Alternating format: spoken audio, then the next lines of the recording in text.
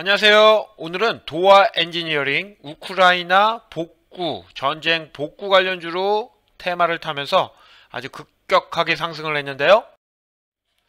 작은 금액으로 조금씩 매수 매도를 공부하고 있는 주린인데요. 좋은 마음으로 좀 보- 어, 배당이나 먹을까 하고 들어갔는데 튀어주는 바람에 52.94% 먹었습니다.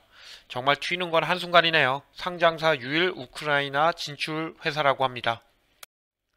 뭐 크게 그동안 장기 주가 거동 보니까 크게 해먹지도 않았고 망하지도 않고 착실히 배당 주는 기업이니 믿을만 해서 들어갔었는데 테마 타고 올라가는 바람에 약간 매도를 해보았습니다. 기념으로 도화 엔지니어링 상장사 유일 우크라이나 진출 전후 복구 사업 참여할 것 휴전하면 쏟아질 재건 관련 물- 발주 물량 우크라이나 경험이 있어 유리할 것이라고 하네요. 빠지면 또 사야겠네요. 감사합니다.